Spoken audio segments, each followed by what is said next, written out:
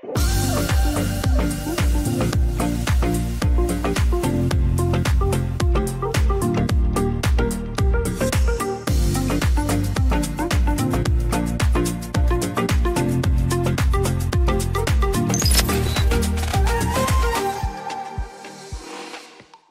hello everyone. Uh, welcome to yet another session uh, from the Digital Innovation Incubator. And today with us, we have uh, Darko Kreiner. He was the colonel in the US Air Force. So welcome, Darko, and hello. Welcome to everyone. So I think uh, it would be best uh, if you introduce and say a couple of words about yourself. So feel free to, to share with us. Yes, my father and mother were born here in Slovenia, where I currently live now, and escaped after the Second World War, went to America. When I was 17, I uh, entered the Air Force, joined uh, basic military training, and, uh, and started my career uh, in the United States Air Force.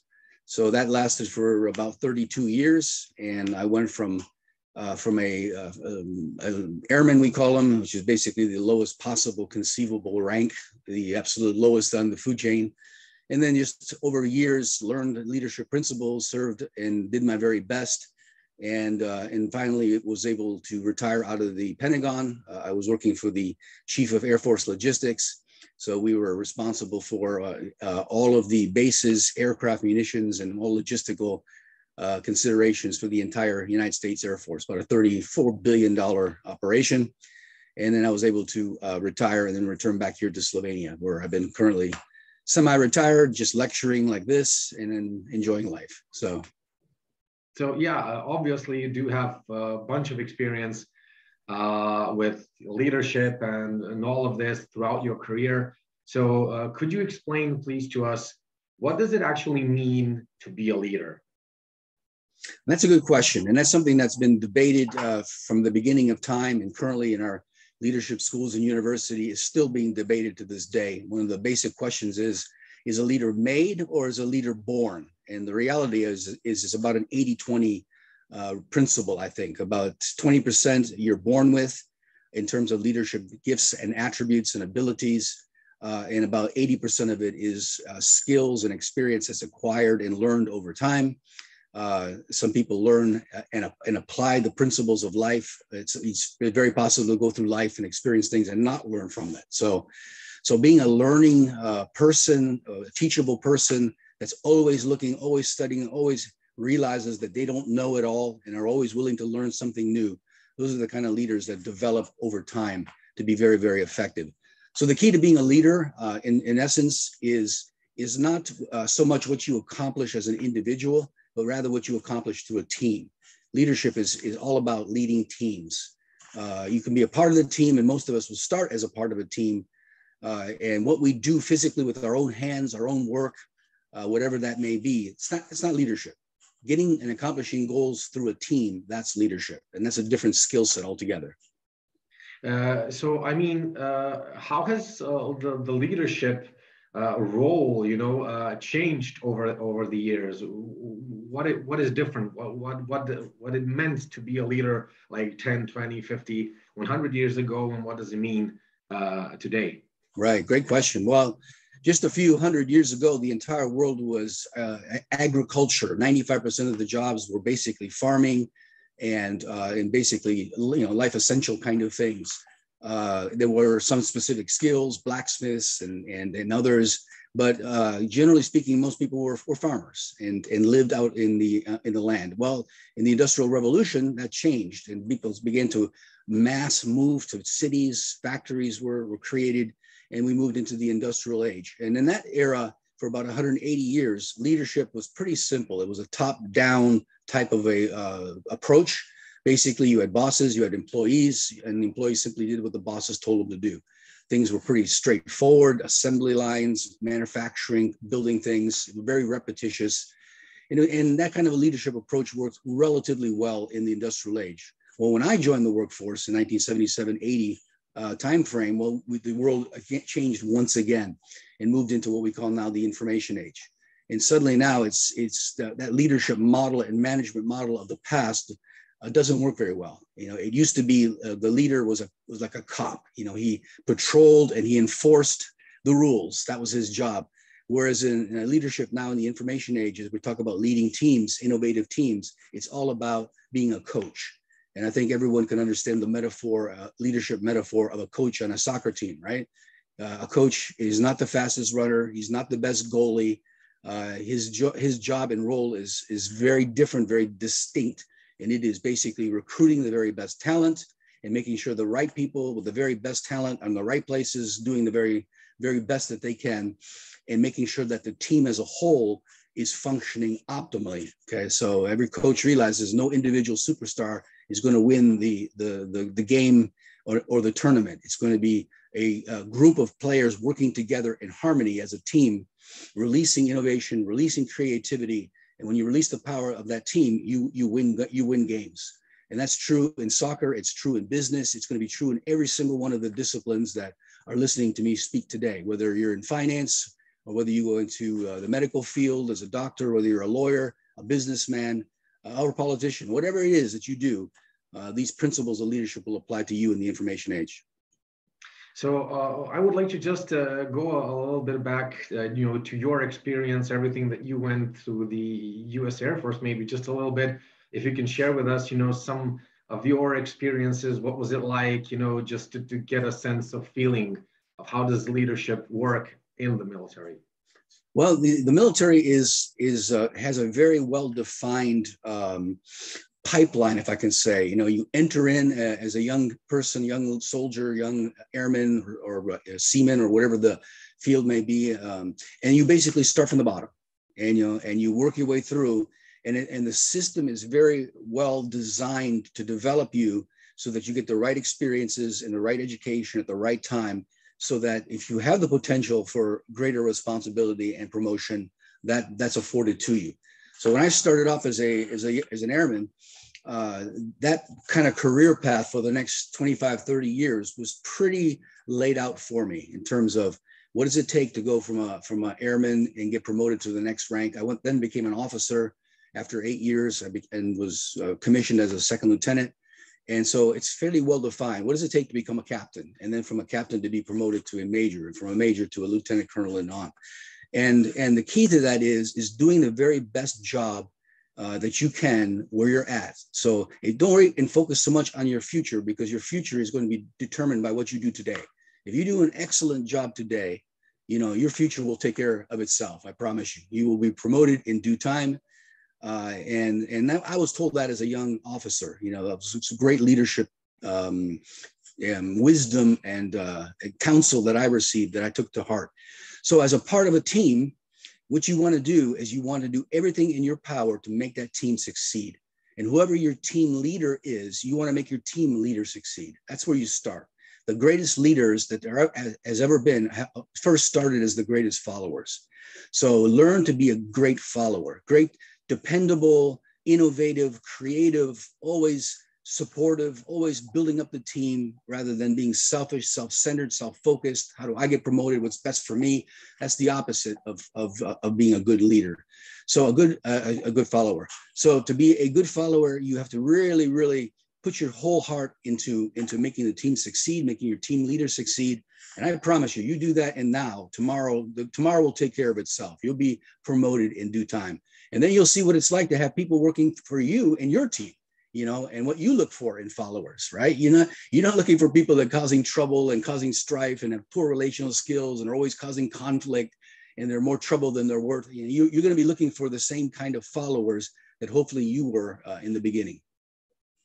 Uh, so uh, you were talking a little bit about you know the skills and stuff that you need uh, to be a leader. So if we can focus a little bit more about that. So what are some uh, specific skills or skill set that great leaders possess in order to lead teams uh, in the best possible way?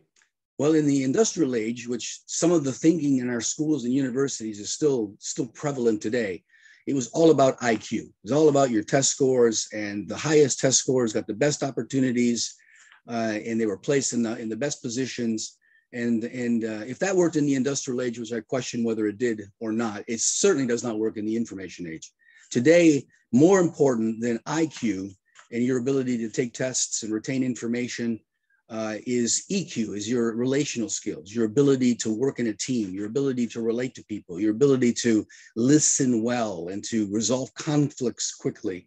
So the kind of leadership skills that, that are going to get you promoted in your uh, career path over the next 20, 30, 40 years are going to be EQ skills, relational skills, uh, learning to understand people, learning to understand uh, how the differences between individuals and their personality and their temperament and their gender and their backgrounds and experiences to harmonize these people to work together uh, in a team. Because if not, these strong-willed people will tend to clash. And what we don't want is clashing. We want we want people to celebrate the differences, appreciate the differences, and and allow those differences to work together to create innovation and creativity. So so relational skills, computer skills, language skills this is the these are the important skill sets in the in the uh, information age. I'm speaking in English to uh, undoubtedly um, a majority of Croatian students, right? And you guys already are demonstrating the fact. I mean, you're listening to me in English, so you're already multilingual, and uh, you're you're in a program such as this, which tells me you you're beginning already to understand the importance of this kind of education, which which goes uh, beyond and is quite different than traditional high school, college training where it's all about IQ, right? It's all about, you know, you learning information that you'll probably never use again in the rest of your life.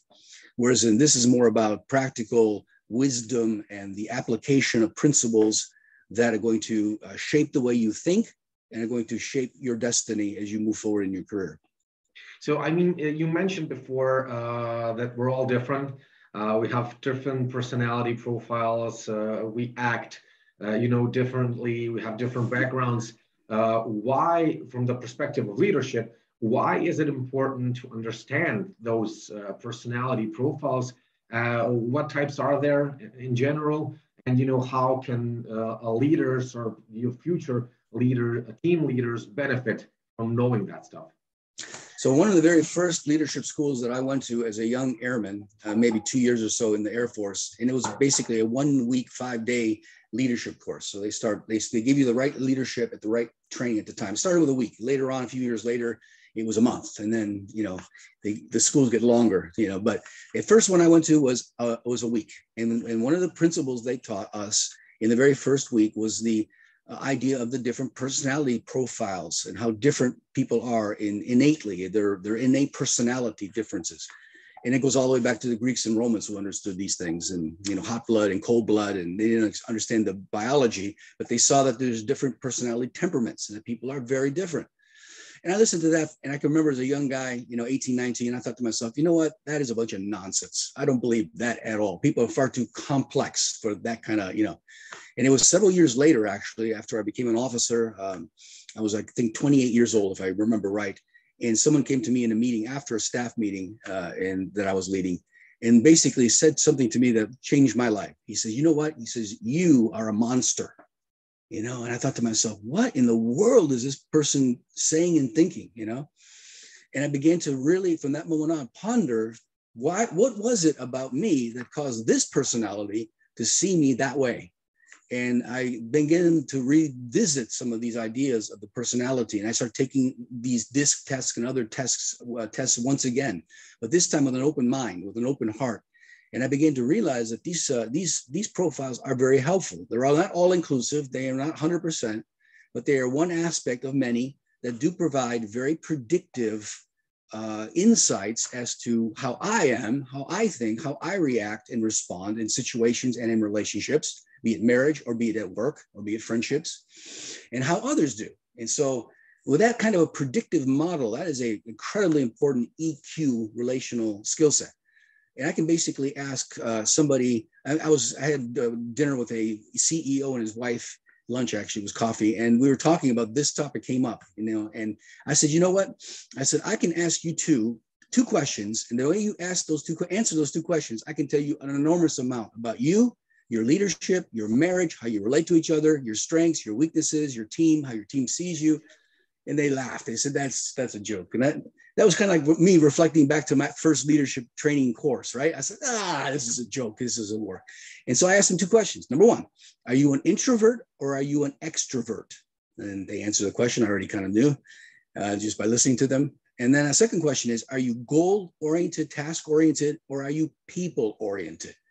And they both answered those two questions. And I just, for the next 30 minutes, just began telling them about themselves, their marriages, their strengths, their weaknesses. And they just laughed and had a hilarious time because they couldn't believe it. They couldn't believe how much insight I had uh, concerning them. So you can see how important that kind of a predictive skill is as a follower, understanding others and yourself, uh, and as well as being then becoming a leader. You know, and and you yeah. begin to celebrate these differences rather than seeing them as as negative. Uh, could we go back to those two questions? Why is it so easy? Why can you predict uh, all those things just by answering those two questions? Because basically, if you have a person who is an extrovert and they're goal oriented, they fall into, if you picture a, profile, a four quadrant profile, right? So you, you know, uh, extrovert, introvert, task oriented, goal oriented, and those create four quadrants, and if you will, right? And those four quadrants define these four personalities.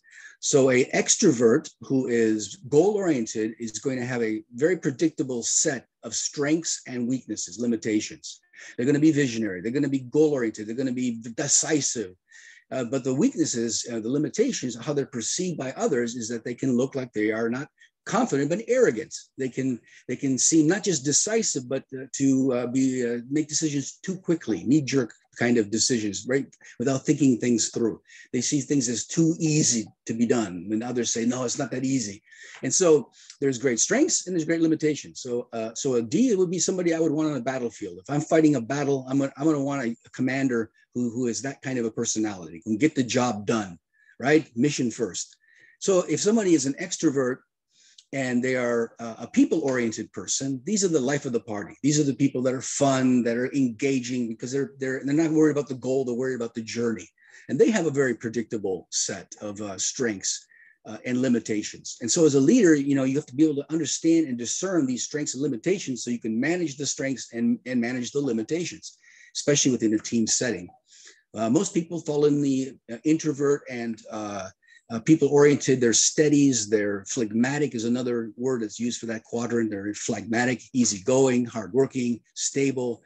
Uh, but their limitation is, is that they, they like security. They're very security oriented. They don't like change, you know, and they especially don't like change that they perceive to be quick or abrupt uh, or without a purpose.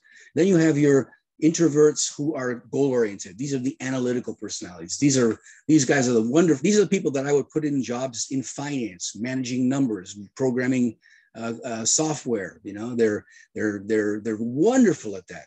But their limitation is is that they tend to be cautious they tend to be negative they could be perceived to be negative you know so so these are these are very predictable quadrants very predictable uh, um, things that one can learn. And so when I really purposed myself at 28 to learn this, I started with myself and my marriage, and then I began to apply it to my relationships and friendships, and then you know eventually to my leadership.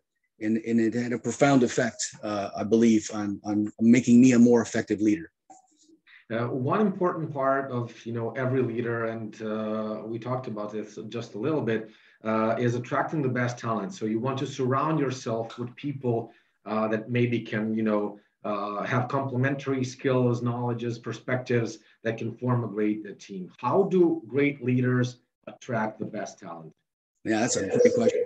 And, and basically what we look for is we look for, first of all, the very best of the best in what in what the skill or what the, the job is, what the task is, be it finance, be it engineering, be it uh, scheduling, be it uh, marketing or HR, whatever it may be, right? We want to first of all find the very best that we can find, and then we want to build a balanced team. You know, we want the right kind of balance between these personality profiles that I've been alluding to.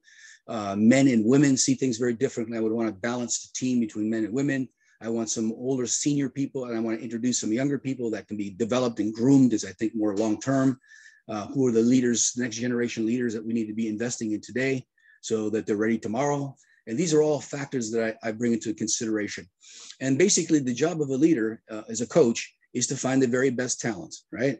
And you pay that talent. So this kind of industrial age model of let's get the let's get whoever and pay them as little as we can possibly pay them.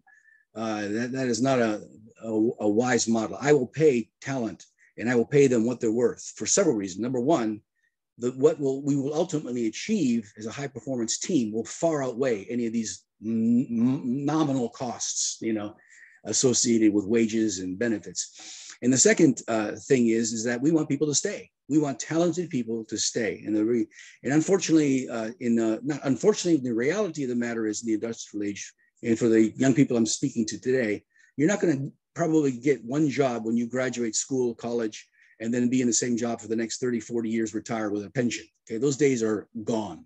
You'll probably changing jobs five to 10 times uh, in the next uh, several decades during the course of your career.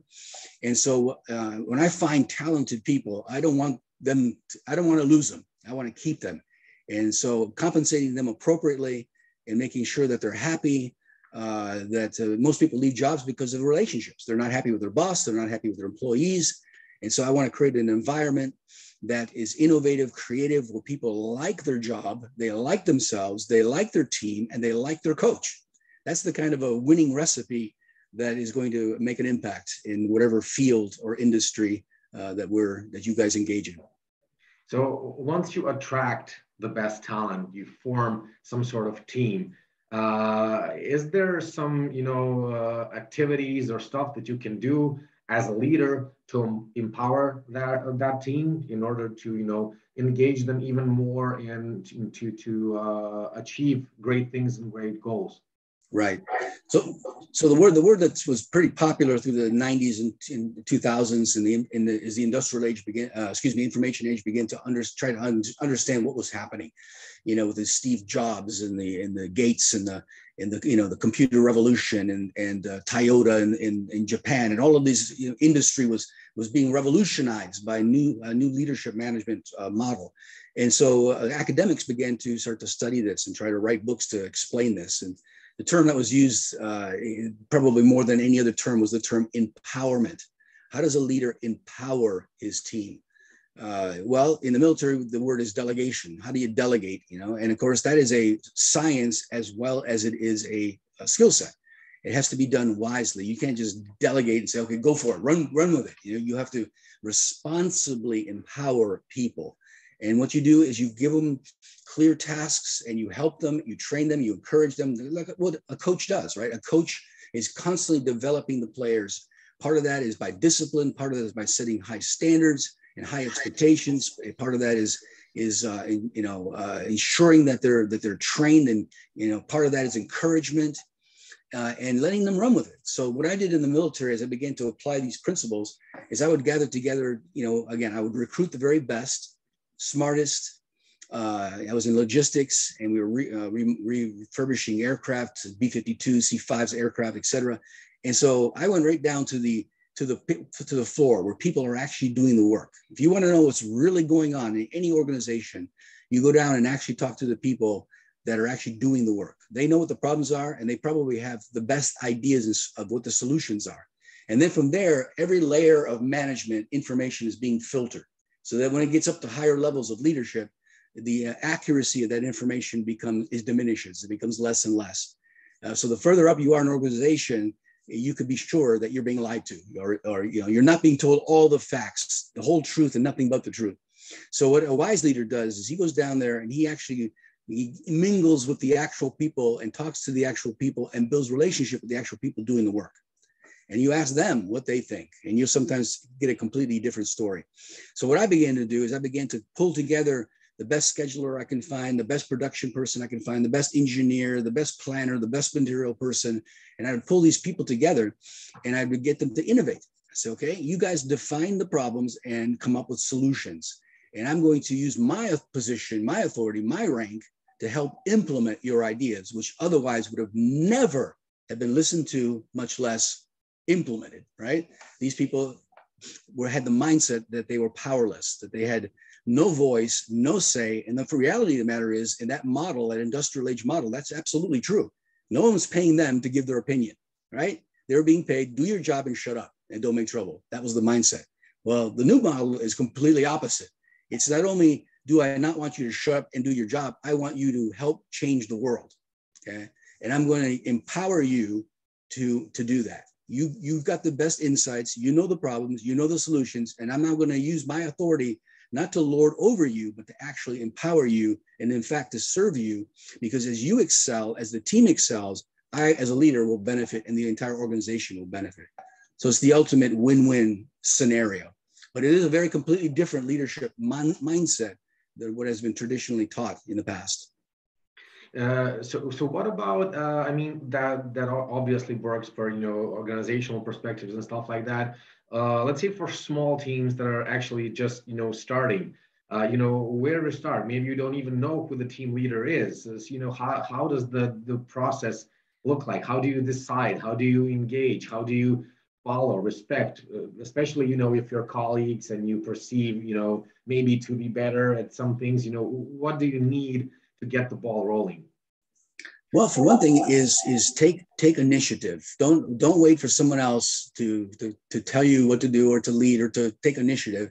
If there's no one else taking initiative, then you take initiative, right? Uh, use whatever influence you have, and and and step out. You know, uh, use it. So in other words, uh, as a part of a, of a, of a team. Uh, I would come up and see possibilities or see opportunities. And I didn't have the, the authority per se myself. So I would go to my boss and say, hey, this is what I see. This is what I would like to do. Would you uh, uh, empower me or allow me to pull together a team and to try something, to do something new, to, you know, to innovate? And if it works, great. If it doesn't work, we'll learn from that and we'll, and we'll move on. So uh, rather than waiting for your, your leader to come to you and tell you what to do, innovate, look at what can be done, what are the possibilities, how can I solve my boss's problems, and then you take the initiative. You know, you go to your boss and make recommendations, and and tell you most leaders are will be thrilled with that. You know, some are insecure. You'll be uh, you will deal with some insecure leaders in the course of your career, and those are tough. Just wait it through because they'll they'll eventually go. They come and go. But but most leaders, when they when they have someone come to them in a team with a great idea or a good idea, and they want to try it and they want to take some initiative, most leaders will be thrilled with that, you know.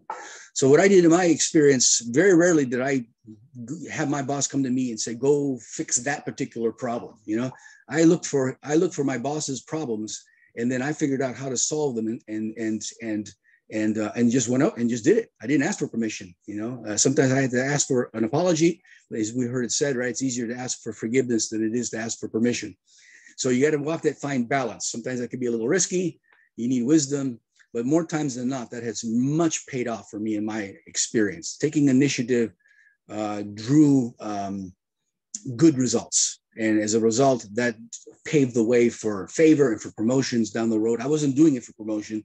I wasn't doing it to draw attention to myself. Uh, I was just doing it because I wanted to do the very best job I can, you know, and yeah, so uh, a lot of you know uh, young people when we start, you know, you would like to you know uh, take the big position, take responsibility, uh, become a leader without maybe you know getting your hands dirty. Does it work that way, or do you have to first I don't know prove yourself, you know, get your hands uh, in the mud and you know work your uh, that ass off or stuff like that, or how does it work?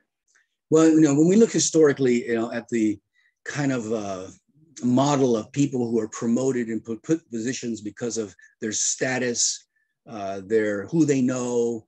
Uh, those systems tend to be inherently flawed. For example, you know, you look at wars throughout Europe over the last many hundreds of years, right? It was the nobility that were in times of war selected to be officers and colonels, and they were taken with no experience whatsoever in putting command of armies just because of their status, you know, in society. And those were those always turn out to be disastrous. And I think that applies to business or any other field as well too. The very best leaders I have ever served or worked with over my 30, 40 years have been those who have started at the bottom and they worked their way up and and they they were competent and experienced and and and those are the kind of leaders that people want to follow you know they want to they want to follow someone that they can believe in and that's part of how you build clout is you know those who've been there done that uh, experienced that. So it, it, turned out that my eight years as an aircraft mechanic as an enlisted guy proved quite well later on when i was a commissioned officer because when i went down and started speaking to the first level guys doing the job working on the aircraft or whatever uh, as i was alluding to earlier and i you know I, they, they found out i was a mechanic too. I was one of them you know i've been there done that uh, I had a federal FAA certified aircraft power plant license, and I had you know a degree in aircraft in, in aeronautics, and so my experience, my background, all of that uh, result resulted in um, in a clout and an influence as a leader that uh, that you don't get even your rank. Doesn't matter what your rank is. You, you you don't get that kind of respect from rank. You get that kind of respect because of who you are because of your experience what you've done. And uh, and so those are the kind of leaders uh, that uh, that uh, you want to you want to be down the road long term you know don't look at those short term you know benefits of climbing over somebody else uh, it's the long term that you want to look the long game as we say that you want to be considering uh, so basically, every team uh, needs to be excellent. You know, every individual needs to provide certain level of excellence in order for the entire team to succeed. So, what does it actually mean to be excellent? And how can you know we all, uh, as leaders or future leaders, facilitate that culture of excellence with every single individual in our team? Right. So that was another thing the academics tried to wrap their head around as they were looking at this, you know, explosion in the 1990s and 2000s. And several books were written. Probably one of the most famous books that was written was In Search of Excellence, still a classic to this day. And I would encourage uh, you young guys and gals to to read some of those those kind of books, some of these classics that will never grow old. The principles will be forever. But in the pursuit of excellence, there was an attempt to look at various different industries and to see what that looks like. What does excellence look like in business or in manufacturing or uh, in uh, computer science or whatever it may be? And, and, and you'll start to see some of the attributes that come out of that, largely EQ skills more so than IQ uh, type of related skills. But exceeding the expectation of your customer would be an example uh, of that.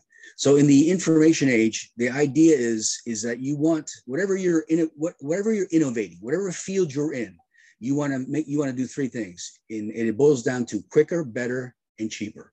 Okay, quicker, right? Performance. Better speaks of quality, and cheaper speaks of, of value right? So whatever it is, it doesn't matter if it's information management, insurance business, uh, or it's um, uh, uh, manufacturing, or whatever it may be, right? The goal is you want performance, you want quality, you want uh, cost, and and those that can do those three things better than their competitor are going to ex- excel, right? I'm looking at a computer right now. It's about three, four years old. I'm very happy with it. But when I buy a new computer, right, I'm not going to look for and buy a new computer four years after I bought this one and look for something that's that's not as quality, uh, not more expensive, and doesn't work as well. It has less RAM and less, right? Uh, I'm looking for something that's going to be quicker and better and faster, right? And I expect to pay the same, maybe a little bit more, but I expect to pay the same, maybe even a little less. And what I will get is actually better and faster and cheaper than what I bought before. Okay, that's the that's the information age in which we live, right? And so innovation and creativity is what is going to achieve that constant uh, progression forward in terms of excellence. So whatever you do, right, make it excellent, make it cheaper, better, faster, and you are going to be riding the wave into the future. When I was a young guy, the first heart surgeon, the first heart replacement took place, and it was done, I think, over 24 hours of surgery, and it had never been done before, right? And in my lifetime, just a generation later, they do thousands, 5,000 heart replacements a day, right? And they do it in about six hours, right? That's excellence, right? That's taking something and making it excellent, right? Improving it, making it better, faster, and cheaper. So kind of make that your mindset when you when you think about excellence. So, uh, you know, a lot of uh, these students are going to be engaged uh, in innovation. Uh, I mean, they've uh, went through change, through disruption, through innovation, uh, almost two crises or at least two crises in their lifetime. So we have a world that's constantly changing and, you know, in every single segment of our life. So if you are a leader, how do you lead your team in in the face of change with all that ambiguity uncertainty uh, risk? What do you do? Right. That's a good question. So one of the attributes of leaders i mean you know the young people you guys are not going to start off to be honest with you few of you are going to start off as leaders. You don't have the experience right and and you're going to be serving you're going to be a part of the team and as i said be the very best team mate team player you can possibly be but as you develop eventually you will become leaders many of you And leaders, part another attribute of a leader beyond what we've already said, and that's the ability to look uh, forward, look into the future, look over the horizon where others cannot see what is coming. An effective leader is always attempting to look over the horizon to see what is coming next. And the way you practically do that is you look at what are the other innovators in your particular field, whatever that may be? Again, finance, manufacturing, car sales, it doesn't matter what it is, right? Who are the very best in the in the world that are doing that are in the same field, that are already doing what you're doing. And look for those who are leading the way. Look for those key uh, innovators and those key companies and organizations that are already at the top of the game because what you want to do is you don't want to start all over again right? You want to start if you can where they're at right? Learn all you can learn from them and then and then you will be that much ahead of absolutely everybody else. So that the term for that is in the 90s and 2000s was called benchmarking right? You benchmark against the very best person right? If i if i run a McDonald's, right? And, and, and the Burger King is, is outselling me and out doing everything better than me, right? I'm going to go and study Burger King very carefully so that I can learn from them and benchmark against them so that I don't spend days, weeks, years uh, learning the basic things that I can learn very quickly if I benchmark. So, right. So, so what I did as a, as a young officer, and I learned this principle, I began taking my teams and we, I took them to uh, a manufacturing uh, F-16 fighter jet manufacturing plant in, in Dallas, Texas. I took them to, at that time, the most uh, effective, uh, amazing uh, smartphones uh, were, were by Motorola. I took my, my team to Motorola and asked for a tour and I met with their leaders and sat down and we, our team asked questions. How did you build an innovative team? Right? Uh, I took them actually to a coffee shop, which was a coffee factory that produced coffee, right?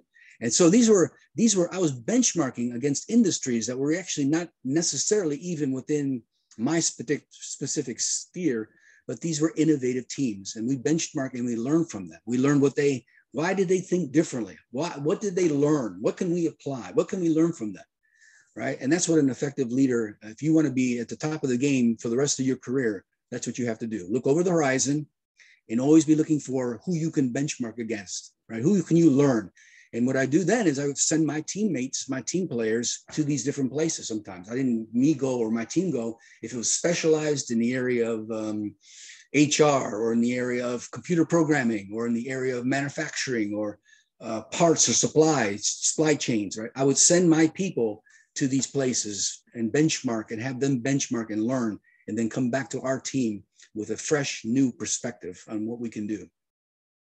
So uh, i mean when you're doing innovation when you're facing change there's obviously a lot of stress a lot of uh, fear of the unknown. Uh, as a leader how, how do you approach that? So how can you be you know feel make your teammates feel uh, secure and not you know to overthink about stuff that they can't control but more focus on stuff that they can do moving forward. Right. And again, I think that's another another aspect of good leadership. A good leader can can can uh, gander not only respect for the leader, but but what we would call in the French esprit de corps, right? A spirit of teamwork, a spirit of a team. So think about a, a good good coach, a quality coach, a great coach. What he does in his team, he he gets the team first of all to believe in him, and then secondly, he does he gets the team to believe in themselves because a team that doesn't believe that can win will never win. A team that believes they can win will win eventually, right? And so, so esprit de corps and, and teamwork and that kind of a belief in oneself and believing in the team and believing in the team leader is critical. And that's a skill set that that is again, you're not born with that. You learn that. You learn how to do that well. And I would add to that that another part of of of uh, of, of what you're uh, asking is would be to to look for small wins. Don't look for you know huge wins and you know it's it's it's the small wins right that build momentum and so the way you build momentum is you get the team to to win a few right and they don't have to be big wins but little wins consistent over time produce big wins right in a baseball metaphor, you might not know baseball, but you know, I, I, don't want my team to be focused on on striking home runs every time they come to the bat. I want consistent base hits, right? And it's a consistent base hits over time that makes the winning team, not someone that can occasionally hit a home run. Uh, that's not going to win the game, right? So uh, you'll have those home run moments where something explosive happens, but generally speaking, your career is going to look like a lot of consistent little wins over time. And the terminology for that in the 90s and 2000s, again, was continuous process improvement. Okay. So you can find lots of books and articles that's related. That's the topic, that's the subject that you are looking for continuous process improvement. How, what does that mean? What does that look like? And when, when you get your team to think that way, uh, that takes that takes away a lot of the, the anxieties and problems because you're you're not overperforming. You're not trying to accomplish the impossible. Goals that are not realistic do not motivate; they demotivate. So we want goals that are consistent, obtainable, and as you probably teach, SMART goals, right? Uh, they're specific, they're measurable, and that's what a team leader wants to do: is put out those SMART goals for people and manage those expectations so that they're realistic. So, uh, do you have any uh, last remark or you know uh, concluding remarks or messages that you want to uh, provide with uh, students across Croatia? Absolutely. Um, looking back, if I was to share one one insight now that I'm in my 60s and have gone through a, a career and uh, and watched thousands of others go through a career, not just myself, but all those that I started with, those that were before me. The, now, as I look back and try to teach and mentor those that are behind me, the reality of the matter is this you are all going to enter the workplace, the marketplace, uh, and in 30 or 40 years, you will exit the market in the, in the place, right? So, so you need to be thinking long term, right? And, and, and as you go through your career, what's going to happen is, is the people that are in front of you, ahead of you now, are going to retire or die. So that in 30, 40 years, you are going to be at a place where you're at the top of your game. You are at the top of your career field, whatever that may be. Because everyone that has gone before you will have had to retire. Many of them will have to die. We all get old, right? And so the my point is, is that these opportunities, it's not will they afford themselves. I'm telling you, I guarantee you they will afford themselves. The only question is, will you be at the right place at the right time with the right skill set? That's the questions that you need to ask, because your your opportunity will come. You you will be at the top of your game, the senior person in whatever it is that you do, or one of the senior people in whatever it is that you do. And the question at that point is, is what have you done for the last 30 or 40 years? Have you accumulated the character? Have you developed the skill sets? Have you acquired the knowledge? Have you developed as a leader right? So that when the opportunity for promotion comes into the most influential positions you are the person that will stand out. And i can tell you being at the pentagon hiring colonels and hiring the very very top top of the top uh, in in the in air force logistics which was security forces civil engineering uh, aircraft maintainers uh, you know all of the supply chain i mean just all of that. At the very very top we were hiring the top leaders uh, and and I, I, saw what that looked like. I sat on those promotion boards, and I can tell you, it's not like you're looking out over a sea of a thousand people that you have to pick from. It, it boils down to just one or two people, one, two, three people that stand out from amongst the rest. And so it's actually not hard to pick those leaders down the road 30 years from now. The only question is, will you be the one that stands out or will you just be one of the me- mediocre thousands that that are just like everybody else you know the the, the color of uh, white uh, manila or whatever color that is right? You know so stand out you know and your your experiences your background your your accomplishments are going to speak volumes uh, down the road. And uh, and live every day one day at a time. Don't worry about tomorrow. Tomorrow will take care of itself right? Do the very best job you can do today. Continue learning continue growing continue adding to your repertoire and to your your resume, uh, that skill set. Uh, uh, you know, when I, when I was 28 years old, I could have went on for ma- my master's degree in logistics. I chose to, to go into counseling and people skills because I realized how important e- um, relational skills were. And, and so I went into a completely different field for my master's degree because I wanted to grow in that area. I was a D, I'm an extrovert, goal oriented, uh, not by nature a people oriented person and I realized that I need to really, really develop in that area. So, so great leaders have got great self-awareness. They, they learn what they're good at. They realize what they're not good at. They soar with their strengths. They learn to manage their weaknesses. And, and you do that, you will do well. You will never be in want of a job. Perfect. Uh, thank you very much for all those uh, uh, great words, for all your uh, wisdom and motivation. Uh, it was a real pleasure uh, talking, discussing with you. And uh, hope we can have this discussion live next year here in Croatia. Thank you very much. Greetings to you all, and I wish you all the very best in your careers.